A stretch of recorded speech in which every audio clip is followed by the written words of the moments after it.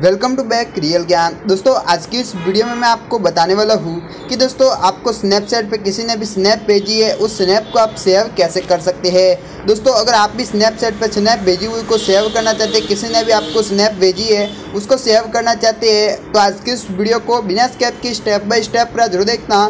तो चलिए आज की इस वीडियो को शुरू करते हैं। दोस्तों, वीडियो को शुरू करने से पहले आपको एक छोटी सी रिक्वेस्ट रहेगी कि आपने चैनल को अभी सब्सक्राइब नहीं किया तो चैनल को जाकर सब्सक्राइब कर देना, साथ ही लगे बेल आइकन को ऑल पे सेलेक्ट करना, ताकि मैं अगला कोई भी वीडियो अपलोड करूँगा तो सबसे पहले जो नोटिफिकेशन है, वो आपके पास पहले पहुँच सके। चलिए दोस्तों, वीडियो को शुरू करते हैं। स्नैपचैट पर स्नैप को सेव करने के लिए आपको स्नैपचैट एप्लीकेशन ओपन कर लेनी है।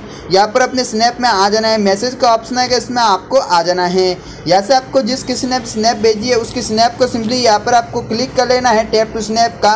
उसके बाद में इसके स्नैप को सेव करने के लिए ऊपर की तरफ़ थ्री डॉट का ऑप्शन है, इस पर क्लिक कर लेना है। सेव यहाँ पर देख सकते हैं सेव इन सेट का इस पर आपको क्लिक करना है। इस पर क्लिक करेंगे सेव इन चैट यहाँ पर देख सकते हैं, जो भी मेरी स्नैप है वहाँ पर सेव हो चुकी है। तो कुछ इस प्रकार से आप भी जब स्नैपचैट पर किसी की भी स्नैप को सेव करना चाहते हैं, यहाँ पर आप देख सकते हैं, जो भी स्नैप है वहाँ पर सेव हो चुकी है। तो कुछ इस प्रकार से आप भी स्नैपचैट पर किसी की किसी की भी स्नैप को कुछ इस प्रकार से सेव कर सकते हैं